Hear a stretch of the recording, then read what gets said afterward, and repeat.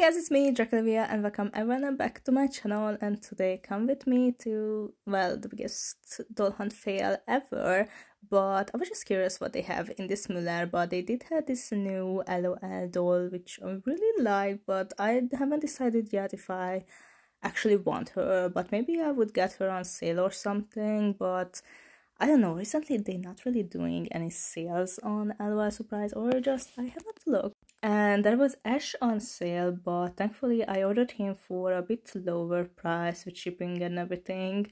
And I didn't have to buy him in the store. But yeah, from Monster High, they have not really so many stuffs. Like, they had this new clothing, which I saw in another Muller too, but I don't know. I don't know what's new in the US, what's new in the Europe, but definitely that's the new one but i already have her so yeah. I, I love shopping when i already have the doll so if i don't want to get a double of them i was I just like you know looking around and not buying everything so i kind of saving money that way. Yeah but i also looked up these rainbow high blind boxes which i am not getting for that price so you know also the barbie Miniland dolls or playsets yeah with barbie i'm really selective. Also this Halle Bailey um Ariel doll was on sale, but I don't know. At the store, I was like, I don't need this doll.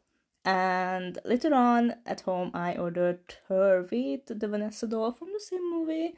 So I actually did needed her, but that was a really good deal, you know. So I got her a little bit expensive, but I got the, the two from one website, so you know, it's kind of worth it, I guess. But basically, that was it. I was trying to look around that sales section that they have over here. But right now, they're more focusing on like kids' toys over here, so no like doll sales or anything over here. Just focusing on summer toys.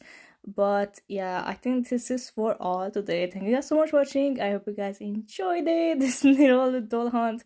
And I will see you guys in my next video. I love you guys. Peace.